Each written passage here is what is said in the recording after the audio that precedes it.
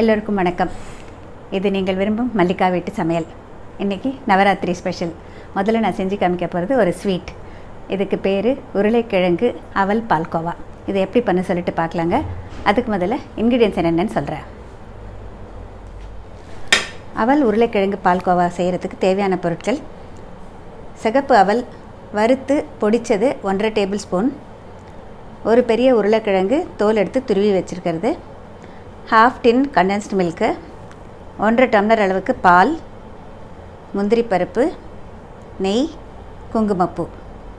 இப்போ இதை எப்படி பண்ண சொல்லிட்டு பார்க்கலாம் இதுக்கு நான் எடுத்துருக்கிறது பார்த்திங்கன்னா சிகப்பு அவல். சிகப்பு அவல் பார்த்திங்கன்னா அது கொஞ்சம் நம்ம வந்து ஆர்கானிக் அப்படிங்கிறப்ப கொஞ்சம் கொஞ்சம் மண் மாதிரி இருக்குங்க எந்த அவலாக இருந்தாலும். அதை நம்ம ஒரு துணி மேலே பரப்பி நல்லா க தொடச்சி விட்டோம்னாக்க அந்த மண்ணெல்லாம் போயிடும். அதுக்கப்புறம் வெறும் வானிலையில் கொஞ்சம் நல்லா வறுத்துக்கோங்க. சிகப்பு அவல் இல்லைன்னா நீங்கள் வீட்டில் எந்த அவல் இருந்தாலும் அந்த அவல் எடுத்துக்கோங்க. அதை வறுத்துட்டு நல்லா ஆறிய பிறகு மிக்சியில் பொடிச்சு வச்சுக்கோங்க. இப்போ நான் பொடிச்சு வச்சது இந்த மாதிரி இருக்குங்க. இதில் தேவையான அளவு தான் நான் போட போகிறேன் உருளைக்கிழங்கு எவ்வளோ எடுத்துக்கிறேனோ அதுக்கு தகுந்த மாதிரி. இந்த மாதிரி அவலை வந்து வறுத்து பொடிச்சு வச்சுருக்கேன். இப்போ இதில் நெய் போட்டிருக்கேங்க. கொஞ்சம் முந்திரி பருப்பை வறுத்து எடுத்துக்கலாம்.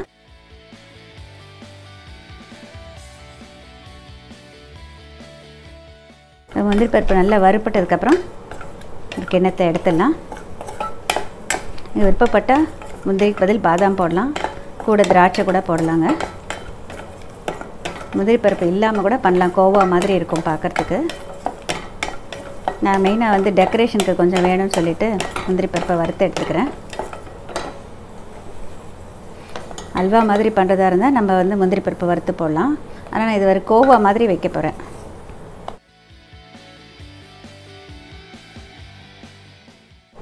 கிட்டத்தட்ட இதில் ஒரு ஒன்றரை டேபிள் ஸ்பூன் அளவுக்கு நெய் ஊற்றிருக்கேன் இதில் உருளைக்கிழங்கை சேர்த்து வதக்கிக்க போகிறேன்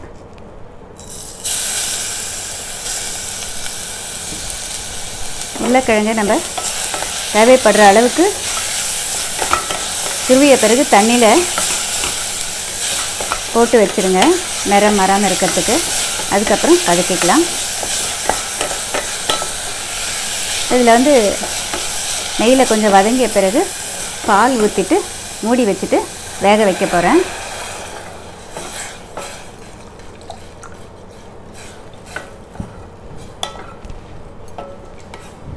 கொஞ்சம் குறைச்ச தணலை இது மூடி வச்சுட்டு நம்ம இந்த உருளைக்கிழங்கு நல்லா வேகிற அளவுக்கு வச்சுக்கலாம். நிறைய பேர் இது என்ன பாத்திரம் அப்படின்னு சொல்லிட்டு கேட்குறீங்க இதுக்கு பேர் ஹீலக்ஸ் பாத்திரம். இதை மூடி வச்சிடுறேன். கொஞ்சம் தணலை குறைச்சி வச்சிடுறேன். அஞ்சு நிமிஷம் வச்சுருந்தாக்க நல்லா வெந்துடும். இப்போ கிட்டத்தட்ட ஏழு நிமிஷம் ஆயிடுச்சுங்க. இது நல்லா வெந்திருக்கான்னு சொல்லிட்டு இப்போ செக் பண்ணலாம்.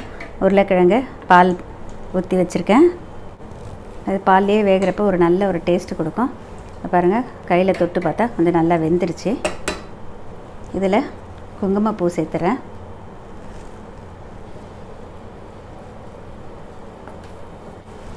அவல் வறுத்து பொடிச்சு வச்சுருக்கேன் இல்லையா? இதை கொஞ்சம் சேர்த்துக்கலாம். ரெண்டு மூணு டீஸ்பூன் மூன்றரை டீஸ்பூன் போடலாம் அதாவது ஒன்றரை டேபிள் ஸ்பூன் அளவுக்கு.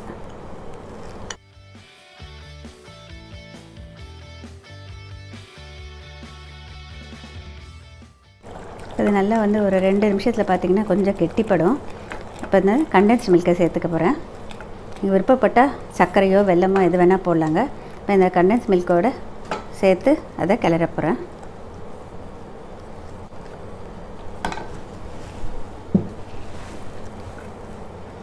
நல்லா ஒரு ரெண்டு மூணு நிமிஷம் கலந்து விட்டுட்டே இருந்தால் நல்லா கெட்டிப்படுங்க. ஒரு பால்கோவா மாதிரி ஒரு கன்சிஸ்டன்சி வரும். அப்போ நம்ம இறக்கிட்டு கொஞ்சமாக நெய் விட்டு கலந்து விட்டு இறக்குனா போதுமானது. ஒரு ரெண்டு நிமிஷம் இல்லைன்னா மூணு நிமிஷம். இப்போ நம்ம இது கெட்டிப்பற வரைக்கும் வெயிட் பண்ணணும். இது நல்லா கெட்டிப்பற வரைக்கும் ரெண்டு மூணு நிமிஷம் நல்லா கலந்து விடணுங்க.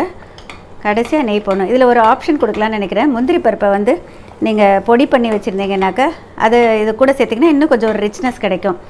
இன்னும் கொஞ்சம் டேஸ்ட் கிடைக்கும். பாதாம் பவுடர் இல்லைன்னா முந்திரி பவுடரை கூட சேர்த்துக்கலாம்.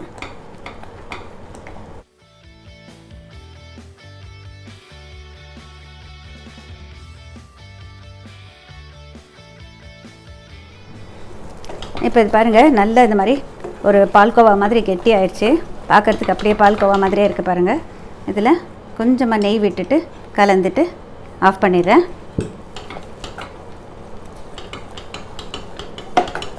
இந்த சூட்லேயே ஒரு நிமிஷம் நம்ம கலந்து விட்டுட்டே இருந்தால் இன்னும் கொஞ்சம் இருக்கும். அப்புறம் ஒரு கிண்ணத்தில் எடுத்துடலாம். ரொம்ப டேஸ்டியாக இருக்கும். நீங்கள் சொன்ன ஒழிய இது என்ன போட்டு பண்ணீங்கன்னு யாருக்கும் தெரியாது. உருளைக்கிழங்கு அவல் பால்கோவா தயார்.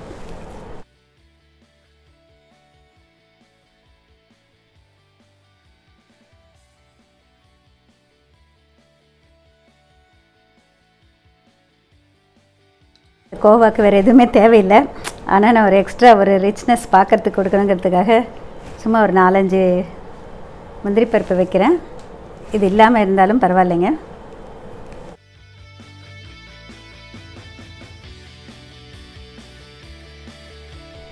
இந்த நவராத்திரிக்கு சுவையான ஒரு வித்தியாசமான உருளைக்கிழங்கு அவல் கோவா தயார். நவராத்திரி ஸ்பெஷலில் இப்போ ரெண்டாவது டிஷ் நம்ம பார்க்க போகிறது சுண்டல். அதாவது முளைத்த பச்சை பயிறு சுண்டல். இது செய்கிறது ரொம்ப சுலபம். இப்போ இன்க்ரீடியன்ஸ் என்னென்னு சொல்கிறேன் பாருங்கள் கீரை சேர்த்த முளை பச்சை பயிறு சுண்டல். இதுக்கு தேவையான பொருட்கள் பார்த்திங்கன்னா முளைத்த பச்சை பயிறு தேவையான அளவு. தவசிக்கீரை பொடியாக அரிஞ்சு வச்சது. தேங்காய் துருவல். இந்துப்பு கறிவேப்பிலை தகுந்த அளவு எண்ணெய் கடுகு உளுத்தம்பருப்பு வெந்தயம் உடைச்ச வரமிளகா பெருங்காயத்தூள். பொதுவாக புதன்கிழமையில் பச்சைப்பயிறு சுண்டல் செய்கிறது பழக்கம். எல்லாருக்கும் தெரியும். ஸ்வீட் சுண்டல் கார சுண்டல் ரெண்டும் பண்ணுவாங்க. இன்றைக்கி நான் வந்து முளைத்த பச்சைப்பயிறு எடுத்துகிட்டு இருக்கேன். பச்சை பச்சைப்பயிறுங்கிறப்ப நான் எப்போ சொன்ன மாதிரி இன்னும் அதிகப்படியான சத்துக்கள். அதே பயிர் தான். ஆனால் இன்னும் கொஞ்சம் அதிகமாக சாப்பிட முடியும் நம்மளால். இதில் வந்து முளைக்கிறப்ப வந்து விட்டமின் சி அதிகரிக்கும். புரதம் வந்து சுலபமாக ஜீரணிக்கப்படும் நிலைக்கு வரும். இதில் வந்து நான் சேர்க்கப்படுறது வந்து கீரை. இது வந்து தவசிக்கீரை. நீங்கள் அகத்திக்கீரை கிடைச்சா அகத்திக்கீரை போடுங்க. ஏன்னா அகத்திக்கீரையும் ரொம்ப உடம்புக்கு நல்லது. இந்த தவசிக்கீரை எங்கள் வீட்டிலே இருக்கிறதுனால நான் இதை எடுத்துட்டேங்க இது வந்து லேசான துவர்ப்பு சுவையும் இனிப்பு சுவையும் இருக்கும். அதே நேரம் பார்த்தீங்கன்னா நம்மளுக்கு இந்த சுண்டலில் ஆறு சுவையும் நம்ம நம்மளுக்கு சேர்ந்த மாதிரி கிடைக்கும். ஏன்னா நான் வந்து தாளிக்கிறதுல வெந்தயமும் சேர்க்க போகிறேன் இந்த தவசிக்கீரை வந்து கொஞ்சம் சாப்பிட்டு பார்த்தாக்கல வெறும்னு வாயில் போட்டு சாப்பிட்டாலும் நல்லா ஸ்வீட்டாக இருக்குங்க. நான் இது தினமும் சாப்பிட்றது பழக்கம். இப்போ இது எப்படி பண்ணுறது சொல்லிட்டு பார்க்கலாம். இது பார்த்தீங்கன்னாக்க வந்து இலை கருவேப்பிலை மாதிரி இருக்குங்க. சும்மா இப்படி கட் பண்ணி வச்சாலே முளைச்சி வந்துடும். இது தவசிக்கீரை பார்த்தீங்கன்னா உருவி எடுத்துட்டு இந்த மாதிரி இதை நல்லா கழுவிட்டு அதுக்கப்புறம் ஒரு வடித்தட்டில் போட்டுட்டு கொஞ்சம் நேரம் கழிச்சிட்டு கட் பண்ணுங்கள் அதாவது நம்ம கட் பண்ண உடனே நம்ம வந்து இதை வந்து பண்ணணும். இந்த மாதிரி கட் பண்ணி வச்சுக்கோங்க. ரொம்ப நைஸாக கட் பண்ணணும் அப்படிங்கிற அவசியம் இல்லைங்க. ஃபைனாக கட் பண்ண அவசியம் இல்லை. இந்த மாதிரி கட் பண்ணால் போதுமானது. இப்போ இங்கே வானிலையிலேருந்து எண்ணெய் ஊற்றி வச்சுருக்கேங்க. இங்கே ஒரு விஷயம் சொல்லணும் பிரியப்படுறேன் நிறைய பேர் வந்து நீங்கள் ஏன் நான்ஸ்டிக் விசல் யூஸ் பண்ணுறீங்க அப்படின்னு சொல்லிட்டு கேட்குறீங்க இது வந்து செராமிக் கோட்டட் இது நான் பதினஞ்சு வருஷமாக யூஸ் பண்ணுறாங்க கொஞ்சம் கூட ஒரு கோட்டிங் போனது கிடையாது. இது வந்து ஒரு ஆடட் அட்வான்டேஜ் இதுக்கு. அதனால் இந்த மாதிரி வெசல்ஸ் யூஸ் பண்ணதுனால உங்களுக்கு ஒன்றும் ஆகாது. சரியான கரண்டி யூஸ் பண்ணணும். அதுதான் ரொம்ப முக்கியம். இப்போ இதில் கடுகு உளுத்தம்பருப்பு நாலே நாலு வெந்தயம் சேர்க்குறேங்க. இது வந்து நமக்கு புரதம் உடலில் உடிஞ்சப்படுவதற்கு உதவி செய்யும். அதோட உடைச்ச மிளகா கருவேப்பிலை கொஞ்சமாக பெருங்காயத்தூள். இப்போ இதில் பயிர் போட்டுக்கிறேன். பச்சை பயிர் நம்ம எப்பவும் சாலடாக தான் பண்ணுவோம் இல்லையா? இந்த மாதிரி சுண்டலை பண்ணுறப்பையும் ரொம்ப நல்லாயிருக்கும் அதிக நேரம் வந்து இது வேகணுங்கிற அவசியம் இல்லைங்க. இதுக்கு வந்து சாலட் சுண்டல்னு கூட நம்ம சொல்லலாம். கொஞ்சம் ஷார்ட் பண்ணிவிட்டு லேசாக தண்ணி தெளித்து மூடி வச்சிங்கன்னா ரெண்டு நிமிஷத்தில் அது கொஞ்சம் வெந்த மாதிரி ஆகும். அதை பாருங்கள் கொஞ்சமாக தண்ணி தெளிக்கிறேன்.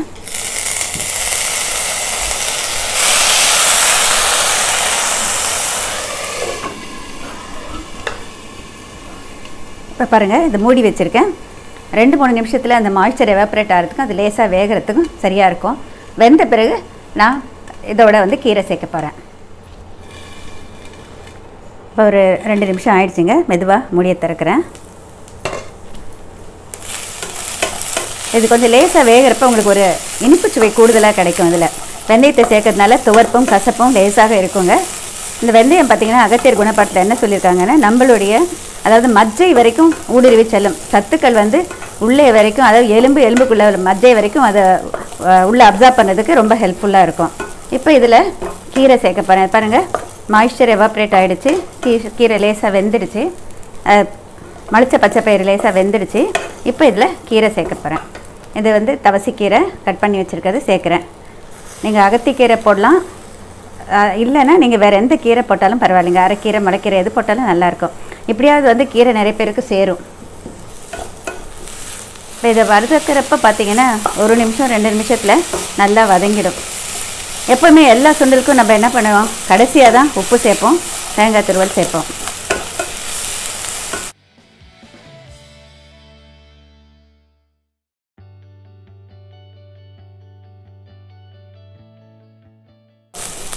இப்போ பாருங்கள் இது கீரை நல்லா வதங்கிடுச்சு.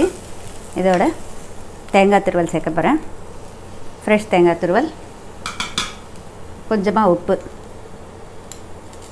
ஒரு நாள் இந்த உப்பு யூஸ் பண்ணேன் ஒரு நாள் இந்த உப்பு யூஸ் பண்ணுறேன் அப்படின்னு சொல்லிட்டு எல்லாரும் சொல்கிறீங்க இது வாங்கிட்டு வராமல் இருந்தேன் இப்போ வாங்கிட்டு வந்தேன். அதனால் இதை யூஸ் பண்ணுறேங்க நீங்கள் எந்த உப்பு வேணாலும் யூஸ் பண்ணலாம். தப்புன்னு இல்லை. தேவையான அளவு போடுங்க அவ்வளோதான் இப்போ இந்த சுண்டல் தயாராகிடுச்சுங்க ஆஃப் பண்ணிடுறேன். இது செய்கிறதுக்கு ரொம்ப குறைவான நேரம் தான் பிடிக்கும். இப்போ இந்த சுண்டல் தயாராகிடுச்சுங்க அதிக சத்துக்கள் மிகுந்த மிக சுவையான சுண்டல். கீரை சேர்த்த முளைத்த பச்சை பயிறு சுண்டல் தயார். இன்றைக்கி நவராத்திரி ஸ்பெஷலில் மூணாவது டிஷ் முருங்கைக்காய் மொச்சை சாதம். இதை எப்படி பண்ண சொல்லிட்டு பார்க்கலாங்க. இது ரொம்ப வித்தியாசமாக இருக்கும் அதே நேரம் ரொம்ப டேஸ்டியாக இருக்கும். இங்கே இன்க்ரீடியன்ஸ் எடுத்து வச்சுருக்கேன் பாருங்கள் சாதம் வடித்து வச்சுருக்கேன். உதிர் உதிராக இருக்கிற மாதிரி. இது கிட்டத்தட்ட அரை அழாக்கு சாதம். இதுக்கு வந்து ஒன்று இல்லைன்னா ரெண்டு முருங்கைக்காயை வந்து இதனுடைய சதைப்பகுதியை எடுத்துட்டு கட் பண்ணி வச்சுருக்கேங்க. பச்சை முருங்கைக்காய் தான். இதில் மொச்சையை மட்டும் ஃப்ரெஷ் மொச்சையை வந்து வேக வச்சு வச்சுருக்கேன். தேவையான அளவு போட்டுக்கலாம். தகுந்த அளவு உப்பு. இங்கே கறிவேப்பிலை தாளிப்பருப்பு கடுகு உளுத்தம்பருப்பு கடலைப்பருப்பு பெருங்காயத்தூள். இந்த நாலும் பார்த்திங்கன்னா கொள்ளு மிளகு சீரகம் வெந்தயம். நாளையும் வறுத்துட்டு பொடி பண்ணி வச்சுருக்கேன். கொள்ளு கொஞ்சம் அதிகமாக போட்டுக்கணும். ஒரு கால் கப் கொள்ளு எடுத்துட்டிங்கனாக்கா ஒரு டீஸ்பூன் மிளகு முக்கால் டீஸ்பூன் சீரகம் போடலாம்.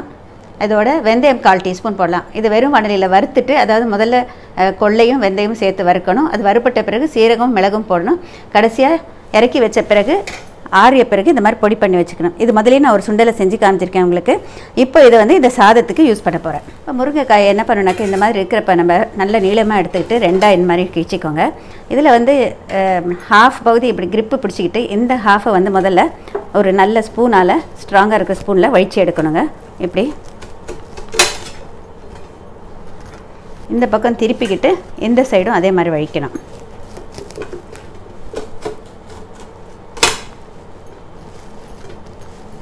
பாருங்கள் நல்லா பார்த்துக்கோங்க. நல்லா இப்படி கிரிப்பு பிடிச்சிக்கணும். ஏன்னா பச்சையாக இருக்கிறப்ப கொஞ்சம் ஹார்டாக இருக்கும். ஆனால் இப்படி வச்சா தான் நம்மளால் எடுக்க முடியும். நல்ல ஒரு ஸ்ட்ராங்காக இருக்கிற ஸ்பூன் எடுத்துக்கோங்க. ஃப்ளிம்ஸியாக இருக்கிற ஸ்பூன் எடுக்காதீங்க. இதில் வழிக்கிறப்பே நல்லா உள்ளேருந்து பாருங்கள் மொத்தமாக எல்லாமே வழித்து எடுத்துடணும். இப்போ இந்த மாதிரி வழித்ததை வந்து நான் வந்து நல்ல பொடியாக கட் பண்ணி வச்சுருக்கேங்க. நான் எங்கள் விருப்பப்பட்டால் கத்திலேயே கட் பண்ணிக்கலாம். ஆனால் நான் எப்பவும் கிச்சன் சிஸ்டர்ஸ் யூஸ் பண்ணதுனால இந்த மாதிரி நல்லா பொடியாக கட் பண்ணிக்குவேன். இது வேக வச்சு பண்ண வேண்டாங்க. இது வதக்கிறப்பே வந்து சீக்கிரமாக வதங்கிடும். ஒரு கூடுதல் சுவையை கொடுக்கும் இது. பாருங்கள் பாருங்க. இந்த மாதிரி கட் பண்ணி வச்சுருங்க. இப்போ வாண்டியில் எண்ணெய் ஊற்றி வச்சுருக்கேங்க. முதல்ல கடுகு உளுத்தம்பருப்பு கடலைப்பருப்பு கருவேப்பிலை பெருங்காயத்தூள்.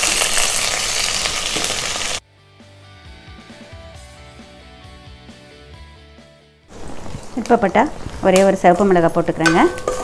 ஏன்னா மிளகுத்தூள் தான் இதில் சேர்க்க போகிறோம் பொதுவாக புதன்கிழமையில் சம்பா சாதம் பண்ணுவாங்க. இது அதுலேயே கொஞ்சம் வித்தியாசமாக இருக்குங்க. இப்போ இதில் முதல்ல நான் சேர்க்க போகிறது முருங்கைக்காய்.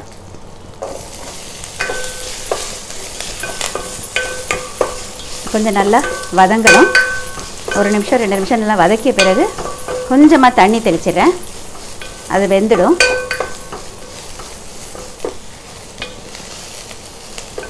இந்த முருங்கைக்காய் சேர்த்த பிறகு ஒரு நிமிஷம் ரெண்டு நிமிஷம் வதக்கிக்கலாம்.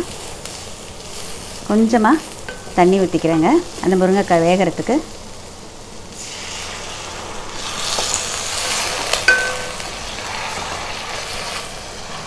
ஒரு நிமிஷத்தில் இது வெந்துடும். வெந்த பிறகு நம்ம வேக வச்ச மொச்சை சேர்த்துக்கலாம். இப்போ இதில் தண்ணி தெளித்ததுக்கப்புறம் மூடி வச்சுட்டு ரெண்டு நிமிஷம் வச்சிங்கன்னா வெந்துடும். இப்போ இதை மூடியை திறக்கலாங்க.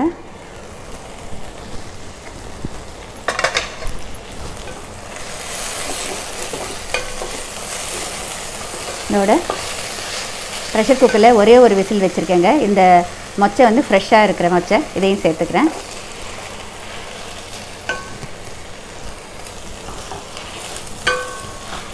பொதுவாக நான் எந்த சாதம் செஞ்சாலும் சாதம் எந்த அளவு இருக்கோ இந்த செய்கிற வெஜிடபிள்ஸ் வந்து அந்த அளவுக்கு அதிகமாக தான் போடுவேன். அப்போ தான் ரொம்ப டேஸ்டியாக இருக்குங்க. ஆரோக்கியத்துக்கும் ரொம்ப நல்லது அந்த மாதிரி செஞ்சாக்கா. இப்போ இந்த வெஜிடபிள்ஸ்க்கு தகுந்த மாதிரி கொஞ்சமாக உப்பு சேர்த்துக்கிறேங்க.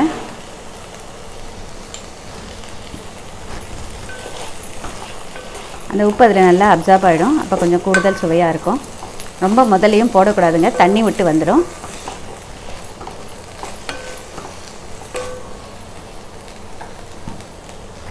இப்போ இந்த சாதத்தை சேர்த்துக்கலாம்.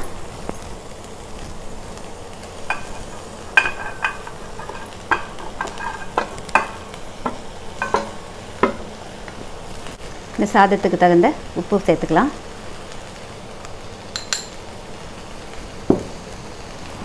இப்போ நம்ம செஞ்சு வச்சுக்கிற கொள்ளு வெந்தயம் மிளகு சீரகப்பொடி. இதில் இருக்கிற மிளகு காரம் தாங்க. ஒரு நல்ல ஒரு க்ரன்ச்சி டேஸ்ட்டு கொடுக்கும். இதோட சேர்த்து போட்டிங்கன்னா.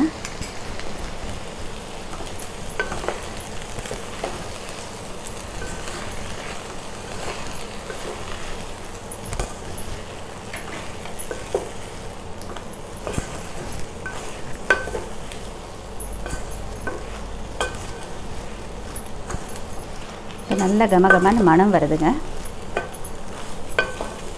நல்லா சாதம் சூடாகிற அளவுக்கு கலந்து விட்டுட்டு இறக்கிடலாம்.